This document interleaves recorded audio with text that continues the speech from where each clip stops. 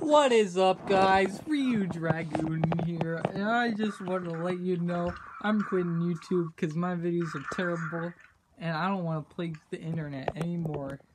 Sorry, boys and girls. Bye.